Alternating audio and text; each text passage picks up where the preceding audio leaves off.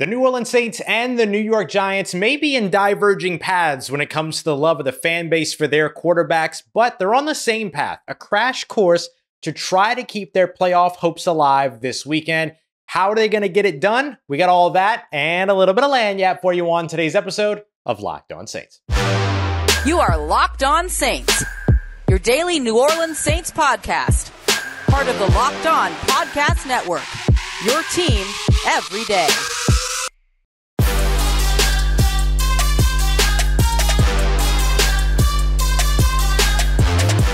What's going on, everybody, and welcome into this crossover Thursday edition Locked On Giants and Locked On Saints, your daily podcasts covering the New York Giants and the New Orleans Saints, part of Locked On Podcast Network your team every day. Big thank you to all the everydayers out there making Locked On Giants and Locked On Saints your first listen of the day every day. Don't forget, you can always subscribe and follow for free on YouTube or wherever you get your podcasts so you never miss the latest episodes. Big shout out to all the everydayers out there who are checking us out every single Monday through Friday. On this crossover Thursday edition of the show, we've got Patricia Traina at Patricia underscore Traina on your favorite social media. Myself, Ross Jackson at Ross Jackson. Jackson Nola, N O L A, on your favorite social media. Very grateful to be here to bring you a breakdown of this New Orleans Saints hosting the New York Giants game here on Sunday. And of course, this crossover Thursday edition of Locked On Giants Locked On Saints brought to you by friends over at Prize Picks, the easiest and most exciting way to play daily fantasy sports.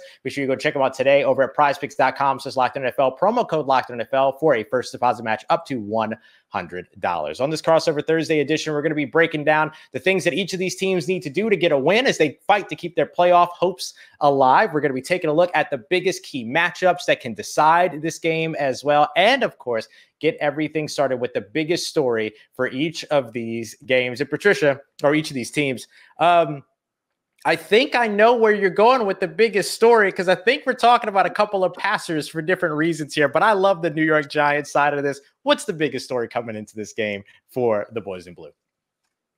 For those of you who can't see it, I'm doing the Italian pinch. hey, hey. Tommy Baby, the Tommy Cutlets. He's taking America by storm. He's certainly taking the New York, New Jersey area by storm. Tommy DeVito, undrafted free agent quarterback he was supposed to be on the practice squad, supposed to be an afterthought. Injuries to Daniel Jones, injuries to Ty- Tyrod Taylor thrust him into the spotlight. He had a rough start against Dallas in his very first NFL start, but he has won three in a row. He's going mm-hmm. for four in a row, and he can become the third rookie in the NFL with no interceptions and a passer rating of 100 or higher in four or more consecutive games, joining Dak Prescott of the Cowboys, who did it in 2016, and Russell Wilson, who did it in 2012. So Tommy DeVito, all eyes going to be on him. Um, he was the darling on Monday Night Football. But you know what? As exciting as Tommy DeVito has been and how he has galvanized this New York Giants offense, don't sleep on the defense either because the defense mm-hmm. is playing pretty well. You got Kayvon Thibodeaux, who is looking to get his third in a row with a forced fumble, his fourth in a row with at least a half a sack. Bobby Okereke, the inside linebacker, playing lights out. Deonte Banks, the rookie cornerback, oh. has a pass defense in six of his past seven games and is aiming for a third in a row uh, with a pass defense. So a lot to be excited for if you're the New York Giants. And oh, what what a you know a surge for the Giants because it wasn't too long ago that it looked like this season was dead. Now there's a little bit of hope as the Giants try to keep their very slim playoff hopes alive. Yeah, that's huge. And uh, I got to say, Deonte Banks had an incredible Monday Night Football game. The poise, the composure, he needed all of it, and it was all there. Not bad for a dude his size playing that position. And of course, the New Orleans Saints know a thing or two about good defensive back play, but we're going to get to that a little bit later here on the show. Uh, the biggest story for the New Orleans Saints comes down to the quarterback as well. But I got to tell you, the the quarterback conversation over in New Orleans is very very different than the Tommy Cutlet situation. There's love, there's galvanization, everybody's rallying around the quarterback over in New, in the Big Apple. Here in the Big Easy, it ain't so easy right now for Derek Carr, who has not had the season that folks have been waiting for. But I got to be honest, I, I do think that when it comes to Derek Carr, this is his prove it moment, right? These are the opportunities here, these last four games of the season much like the New York Giants trying to keep their postseason hopes alive, Patricia, the New Orleans Saints trying to do the same. The good thing for the Saints is that they're in like the NFL's worst division in history right now that would rival the NFC Easts of the past. Uh, the NFC South right now has three first place teams, all six and seven. So not any of them very excited about their first place standing at the moment. But the New Orleans Saints do control their destiny. The two teams that they're tied with, they face later on in the season. They've got two NFC opponents coming up here, which becomes really important with tiebreakers and things like that. Common opponents, all of that still ahead of them. This game against the New York Giants is a real opportunity for the New Orleans Saints to be able to keep their playoff hopes alive and maybe, just maybe, for Derek Carr to, I don't think it's going to change a lot of people's minds in terms of those who already have their minds made up. But for folks that have been doubting Derek Carr, this game, as well as the next three ahead, are going to be huge for at least starting to lighten a little bit of the the, the weight that he is uh, carrying. So we got two quarterbacks here that are looking to prove something, right? Yeah, absolutely. And you know what? For Saints fans who are looking for something to hang their hats on, the Superdome has been a house of horrors for the New York Giants. I think they are five and eight in that building since it opened up and back in I want to say 70 was it 71 or 73, but they're five and eight. All right. They've had four games where they've just been absolutely blown out. We're talking 40 or more points. It's just been an absolute house of horrors. And who could forget 50? It was like 52 49 a few what years ago. Game. You figured 49 points game. the team should win. And no, what happens? the Saints go and score 52 points, and the Giants end up losing that game. That was kind of a funky game. I remember that one well. But uh, yeah, if you're looking for something Saints fans to hang your hats on, know that that Superdome has been a house of horrors for the New York Giants. They did win the last time they were Yes, down the there. thing. If I'm not mistaken, I think Mhm. that was that in overtime, if I'm not mistaken. Yeah, that was overtime 27 Yep. to 21 in 2021. That was So, my know, first ever credentialed football uh, New Orleans Saints football game, by the way. Oh, a milestone for you. So you'll remember it well. So there is, you know, there is that element, and you know, the the Superdome, you know, in all seriousness, very hard place to play because of the fans, the noise, the sound, just everything about it. So uh, you know, you've got that on top of everything else, and nobody's sleeping on the Saints up here in New York. You know, they they're saying all the right things, and you know, they know that the Saints, as you pointed out, have something to play for um, in in the the uh, NFC South. So should be a good game. Yeah, I, I think it will be. I really do think this is going to be yet another barn burner between these two teams. I mean, even even the 27 to 21 game, which isn't necessarily a barn burner by number standards, was a barn burner. I mean, we had big play after big play after big play. The former life of Kadarius Toney before he was lining up offsides on game-winning plays and all these other things that he's off busy doing over in Kansas City. The big John Ross touchdown as well. We saw the battle with you know these these two teams, and it's always a ton of fun. It's always a little bit electrifying in, in, in a way that's always uh, very, very fun to take in. I'm going to be very, very interested to your point about the Superdome to see if there's more black and gold or if there's more red, white, and blue in the Superdome for this one because uh, it, two weeks ago, Patricia, it was very, very blue when the Detroit Lions came to town. And I've already heard about a lot of people selling their tickets for better than face value. And I'll tell you what, not a lot of Saints fans are paying better for better than face value for tickets to come and see the New Orleans Saints play right now. So I imagine that those are Giants fans trying to come to the best city in the world. I don't blame them. I get it. I understand. But I- I'm going to be real interested to see what the Superdome looks like on Sunday. As am I. You know, because look, New Orleans is one of the uh, the the, the must visit cities on the Mhm. Giants schedule this year. I mean, that's that's a city. You know, if I wasn't just getting over COVID, I'd be down there. I would make that. I would make a rare trip down there because it's just a place to be. You know, and and I do think there's going to be a large contingency of Giant fans down there. Certainly, the DeVitos, I'm sure, will be headed down there. Hey, as their- long as they're hosting a tailgate, we're good. We're Uh, good. yeah, get ready. I mean, come hungry. You'll have cutlets, ziti, uh, eggplant, parmesan, all kinds of good stuff. But uh, but seriously though, I mean, the Giant fans they do travel well. They do support the team, and again, with the Giants having something to play for, Mhm. even though it's slim, even though the odds of them making the playoffs are are you know less than I think one. Actually, they're a little more than one percent Mhm. as of this this uh, recording it's something to hang your hat on. And and and this season, like I said, the Giant fans haven't really had much to get excited about. Now they do, and it's just been really good to see a lot more smiles on a Monday as opposed to people claiming the sky is falling. Yeah, yeah, it's gonna be very interesting. Hey, look, two teams looking to prove something here, so it is going to be a fun game for sure. Patricia, let's break down some of the matchups that can end up deciding this game, and I'll tell you what, a lot of it comes down to this New Orleans Saints defense and that New York Giants offense. We're gonna be breaking that down as we continue on here with this crossover Thursday edition of Locked On Giants and Locked On Saints here on the Locked On Podcast Network. Your team every day.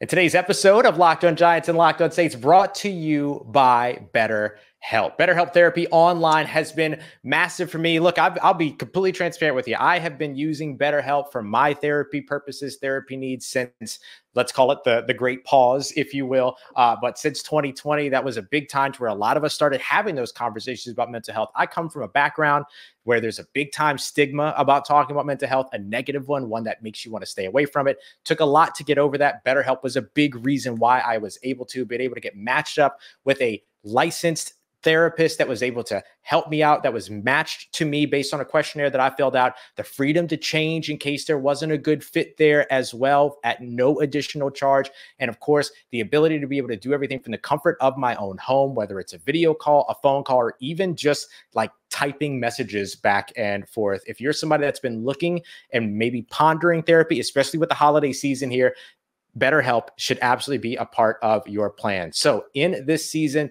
uh, think about giving yourself what you need with BetterHelp. Visit betterhelp.com slash locked on to get 10% off of your first month. That's betterhelp.com, betterhelp, H E L P.com slash locked on. All right, everybody, continuing on with this crossover Thursday edition, the one, the only, the wonderful Patricia Traina of Locked On Giants and myself, Ross Jackson of Locked On Saints. I told y'all on Wednesday's episode, you know, you you Locked On Saints uh, everydayers that I love Patricia. So I'm very excited that we get to do this show together. Patricia, I always love when the Giants are on the schedule for the Saints because I love talking football with you because you got one of those very, very bright football minds, one of the best in the business. So give us a little bit of that give us a little bit of that knowledge when you're talking about those key matchups that could potentially decide this game between the saints and the giants. Please please of course. How can i say no to you? Seriously. I love talking with ross too for those of you who don't know. I, I, ross is just one of one of my many favorites to talk football with. He because he's just so good. But then again you the locked on saints listeners you guys know that so yeah, ah, they're tired of me by now. I doubt that. Excuse me. All right. So, you know, in terms of a key matchup, I'm looking Giants offensive line versus the Saints defensive front. So you're probably saying to yourself, well, duh, it all starts up in the trenches. But here's the thing that I, I've seen with, with the Saints. They deploy a lot of stunts. They are very they use a lot of trickery the Giants offensive line, you know, I'd like to say the first time, the next time they pick up a stunt will be the first time, but I have some numbers for you. The Giants this season, according to Pro Football Focus, have faced stunts on 3.7% of their snaps. Doesn't sound like a lot, but their EPA per play is a league worst minus 3.344, and they've had a success rate of just 35% against stunts. Mm. So you've got a rookie center, John Michael Schmitz not really a rookie anymore. I think at this point in, in, yeah. in, the year, you say they're not really rookies, but still, he's in his first year. You know, you you've got your interior offensive lineman. You know, communication is key. Now, the Giants' offensive line, they have performed better of late. Last year, last week, excuse me, was the first time this season the Giants did not allow a sack. Mm. I know, right? 29th wow. ranked offensive line per pro football focus in terms of pass blocking efficiency rating. They didn't allow a sack. Part of that was a result of the Giants getting the ball out of Tommy DeVito's hand quicker. So that mm-hmm. that uh, played into it. Tommy DeVito also learning to roll in, around in the pocket and navigate away from trouble. But that being said, the Saints defense, they use a lot of trickery. I suspect they're going to throw a few, you know, twists and stunts and oh, shouts yeah. and whatever twists and shouts, right? Um, French twists. Yes, our French twists, as we were talking about beforehand. exactly. So I think it's going to be important for the Giants to pick that up because you know communication's key. They're expecting the same starting offensive line that they had, you know, the last few weeks. Evan Neal is not going to be ready, I don't think, for for this this week. So that means you're going to have Tyre Phillips and Andrew Thomas on the edges. John Michael Schmitz, as I, I mentioned, he's going to be the center. Justin Pugh uh, at guard, and um, you know, so the Giants are going to be have to pick up those stunts, and you know, yeah. we'll see how often the Saints throw them at him, but that's a big concern of mine. Yeah, I think that's huge. And look, this is a part of what, you know, Locked on Saints everydayers know is is that like the Saints have been trying to get this pass rush going and a lot of it has been about no longer doing just kind of this heads up four man rush. They're implementing guys like there's a, a, a, smaller linebacker, Zack Baun, who had 12 and a half mm. sacks his you know final mm. year at Wisconsin before he was drafted back in 2020. He's finally now getting his opportunities to be a pass rusher as opposed to being trying to kind of remold it into an off-ball linebacker. A failed experiment is now turning into and showing you a little bit of like, okay, this is what this guy should have been drafted to do and asked to do all along. He's been able to contribute quite a bit. He's got a more slender frame, just over six foot two, six foot three, 225 pounds. So he's not a guy that's going to put his hand in the dirt and try to come after the tackle. You got to do some things to get him running, right? So those stunts, those twists absolutely help with that. Lining him up in the wide nine, far outside the tight end, letting him get the running start, all those things. Dip the shoulder, ghost moves, all those types of deals. And he has been vital for the New Orleans Saints when he's been on the field against running quarterbacks, something that the Saints have struggled against. Tommy DeVito, 10 rushes for over 70 yards just this past game against the Green Bay Packers big part of his game and his ability to escape as well. So I'm with you 100%. That is a humongous matchup between the Saints and the Giants is there on the trenches. The other one that I'm looking for goes back to the Saints secondary. Look, there's not a lot of consistently good parts about the New Orleans Saints season so far this year. The run game's been up and down, mostly down. The passing game's been up and down. The uh, offensive line has struggled in pass protection. The defensive line has struggled to put pressure on quarterbacks. The linebackers have struggled to cover.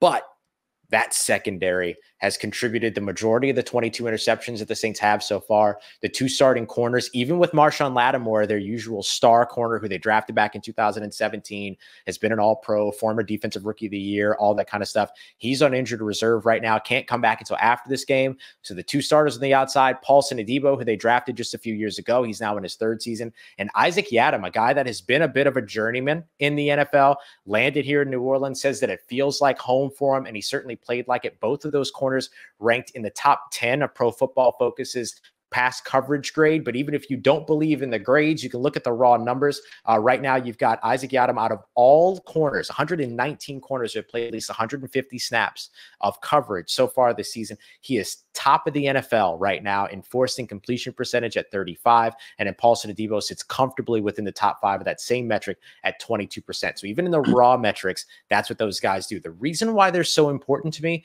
is because so far the New York Giants have not been attacking the middle of the field. One of the league's lowest, 14% of their targets going to the middle of the field, according to NFL L, NFL ELO, and their you know fantastic metrics over there. They love the perimeter in both the passing game and in the run game. 41% of their runs going around the ends.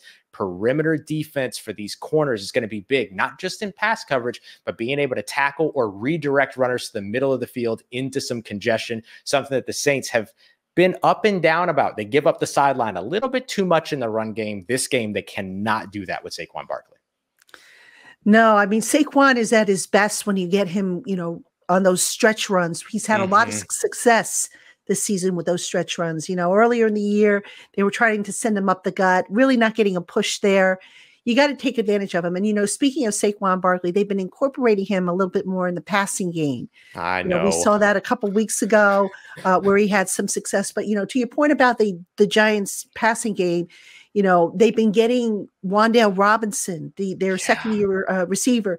He had a big game against the Packers, just running those outside routes. You know, we we saw Isaiah Hodgins would kind of been an afterthought this season. Um, he had a big touchdown catch. Jalin Hyatt, the rookie. Oh, watch him. out for him because he can stretch the field. So, you know, it's interesting because when DeVito first started, a lot of the Giants passing game seemed to be more deep ball or nothing. And mm, they kind mm-hmm. of, you know, curled it back a little bit, but the capability is there if they can get the protection lined up and set up. And uh, just a quick note on Isaac Mhm. Yiadom, former New York Giants cornerback. That's right. That's right. Of course. Of course. That was a part of his uh his journey. He played at a bunch of different teams. You'll be happy to know landed here in New Orleans, was fantastic as a gunner on special teams, and has taken off big time as a cornerback in this very man heavy system, man coverage heavy system. It's working for him. It's working for him big time. So maybe he's got some of those little inside trader secrets too that he might be able to offload a little bit. Probably not. It's it's been a little bit been a little bit too long. Been a little bit too long for Yeah. sure. But it'll be fun to see him uh get, maybe get to reunite a little bit and see some Sure. folks.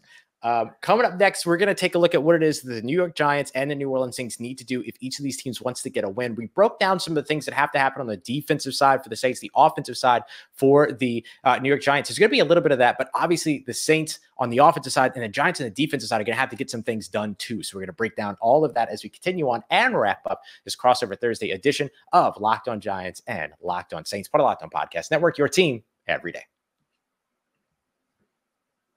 And this wonderful crossover Thursday edition of Locked On Giants and Locked On Saints is brought to you by our friends at FanDuel.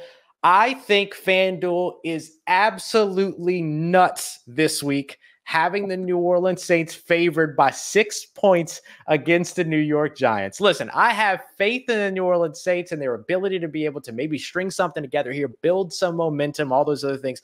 I'm not ruling them out of this game entirely, but a near touchdown favorite, I don't think so. So maybe this is an opportunity for you to jump in and maybe win a little bit against the spread, perhaps. Maybe you think that the Saints are going to win, but maybe it's a five point victory, a six, uh, you know, a four point victory, something like that. Or perhaps you think that the Saints or Giants are just going to clean up and win this game outright. And if you're a first time user of FanDuel, that's exactly the mentality you need to be able to take advantage of their new promo. New customers over at FanDuel are going to get $150 in bonus bets by winning any $5 money line bet. 150 bucks if your team wins. It's like immediate 30 to 1 odds on a heavy favorite or an upset that you just guarantee is going to happen. So don't wait. Go and check them out today. FanDuel.com slash locked on to get started. FanDuel, official partner of the NFL. All right, everybody, wrapping up this crossover Thursday edition, Locked on Giants and Locked on Saints. Big thank you to all the everydayers out there for making us your first listen of the day every day. Don't forget to go and check out that Locked on Sports Today YouTube stream as well. The world's first national sports 24 7 YouTube stream there, breaking it all down with the local experts that know your favorite teams better than anybody else. Go and check them out today at Locked on Sports today. Patricia, what is it that the New York Giants need to do to win this game against the New Orleans Saints? What they got to get done? Well, I mentioned it at the earlier in the program, but I'll reiterate it. They have got to quiet down that Mm. Superdome crowd. Mhm. And that has been a struggle for the New York Giants, starting fast. The Giants this season have been outscored 71 to 16 in first quarter of their games this year. They have, uh, I believe, just one touchdown that they have scored. That came on November 19th at Washington. Okay. Mhm. Um, they are two and six in games played this season in which they trail after the first quarter. They cannot, under any circumstances, let the Saints get out in front of them big time to where now they are in a hole. And the reason is very simple. You get behind, now you're out of your game plan. Now you got to maybe pass a little bit more, abandon the run, Mhm. Which is your strength. So the Giants have got to stay toe to toe, ideally, force either a scoreless tie or take the lead so that they don't get dictated to as to what they need to do to win this game. Now, you know, again, the Superdome, the crowd is very boisterous, it's very loud down there. I think that's one of the two stadiums I've ever been to where I've actually had to put earplugs in sit- to sit there. yeah, it gets a little rowdy. a little bit, yeah. I mean, well, listen, they love their football down there, so I Uh-huh. can't blame them. So, you know, that's going to be another factor as well. The noise factor. You know, the Giants probably going to have to go to a silent count. So you got to be wary of mistakes, you know, jumping off sides, false starts, all that kind of stuff that can happen when you have a boisterous crowd. So that's why it is so important for the Giants to get off to a fast start, quiet down that crowd, and just take control of the game and don't lose sight of what your game plan is. Yeah, and based upon what the Superdome crowd has been here recently, too, a fast start like that, if the Saints can't match it, not only will the Superdome be loud, but they'll turn on this New Orleans Saints team real quick, and you'll hear the boo birds come out to start to impact the home team instead of the New York Giants team. So you could feel that maybe compounding a little bit uh, in favor of the New York Giants if that were to happen for sure. So that's that's that's a fantastic one. Uh, the New Orleans Saints, by the way, have not scored an opening drive touchdown so far at all this season, and they haven't had a field goal even in the opening drive. They haven't scored in the opening drive for about ten or eleven games so far this season either. So they have struggled to uh, be able to put up points in the first quarter. And so that that first quarter split that you just heard, uh, that Patricia just mentioned, that's going to be big for the Saints too, because that's going to mean bucking a trend for them, because usually they're the ones getting outscored in the first quarter, at least the majority of the season here. I think for me, Patricia, the thing that I look at for the Saints is that they have to be able to, on the offensive side, take advantage of some of the poor tackling that we've seen on the Giants defense. I know yards after catch has been a bit of a bugaboo for them so far. I believe that they're uh, near the top of the NFL in yards after catch allowed uh, in the league. The Saints don't benefit a ton from yards after catch, but they got to change that this weekend. They've started to get a little bit better at it here recently. They do it by scheming players open to where they're catching things in stride and having green grass around them. Chris Olave's mentality has changed a lot over the course this year. Their star wide receiver with their other star wide receiver, Michael Thomas, still on injured reserve.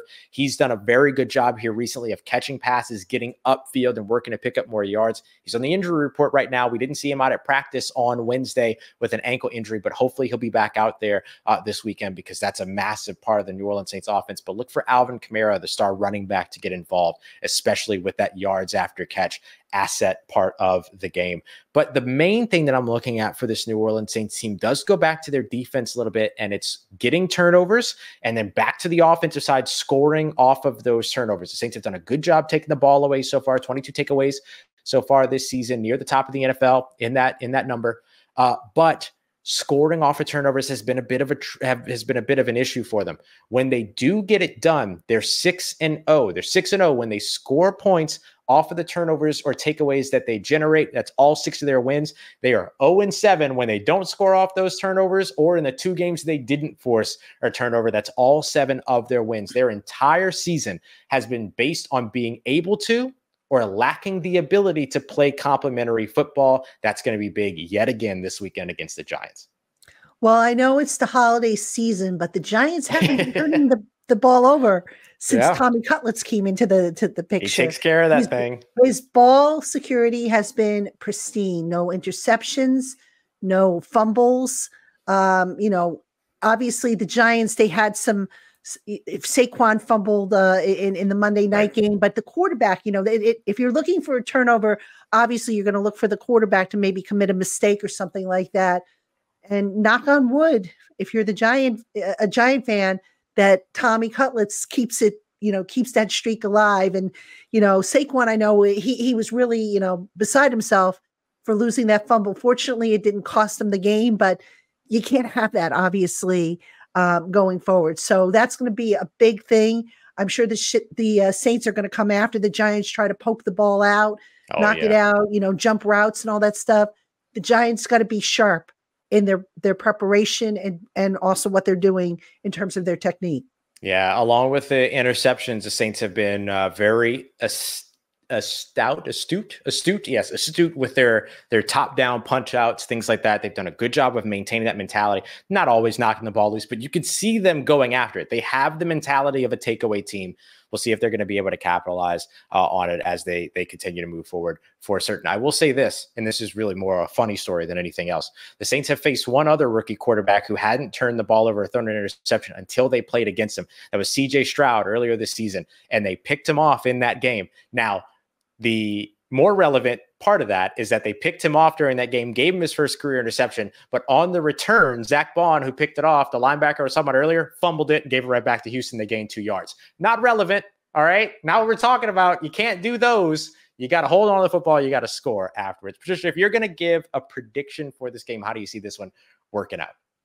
Oh gosh. Uh, you know what? I've been picking against the Giants. I've been taking one for the team. You know, I know mm-hmm. my my listeners are like, "You're picking against the Giants again. You're always negative." I'm taking one for the team, guys. There you right? go. I'm, I'm going to give this one to the Saints. Um, I'm going to say 27 21. Yeah. All right. It would be it would be the the reverse of last of the last time that the two teams played. I think Saints fans would more than certainly take that. Let's do it in four quarters though, not overtime, please. Like let's let's let's not let's not prolong this this game. And let's not have a blowout like we've had in the past. Yeah, yeah. I do think this is gonna look. I, I think this is gonna be a higher scoring game than maybe maybe a you know a Saints and Giants game, or, or or let me say it this way. I think this is gonna be a higher scoring game than any other teams that you might look at at six and seven and five and eight going against one another, right? Like I think this is going to have a lot more action than maybe what that game otherwise would look like blindly. Um, I'm going to take, I'm going to take, I, I've been doing the same thing. I've been picking against the Saints basically for a long time so far this season. Probably for the first time in a while, I'm going to take the Saints in this one. Uh, I'm going to give this to them. Um, and I think it's going to be something like I, I, was thinking like 30 to 27. Like I really think these two teams are going to come out here and, and duke it out because they have a lot to play for. They have a lot to prove, and these two quarterbacks have a lot to prove too. And you know how sometimes that can go when you got two quarterbacks that are ready and rare and to go. That brings us back to fit to, to 52 to 49. I don't think we're getting all that. I don't think we're getting all that, but I do think we're going to have a pretty fun game here uh, on our hands between the Saints and the Giants. Let's hope so. Fingers crossed. Hey, yeah, there you go. there's a there's a hand gesture that Saints fans uh, use for Derek Carr too, but I don't think we can do that here on the show. No, this uh, is a family show. Patricia, always a pleasure. Thank you so much. This was a ton of fun. If you want to hear more about the Giants, whether you're a locked on Giants every day or, or you're a locked on Saints every day, or you want to get a better perspective of what's going on with the Giants, make sure you go and check out Patricia over at Locked on Giants. Giants fans, Saints fans that want to hear more about the Saints in their game and the way that they might approach this one, come and check out Locked on Saints as well. We'll have it all uh, ready for you here as we continue on every Monday through Friday on Locked on Giants and Locked on Saints. Patricia, absolute pleasure. Thank you, Ross.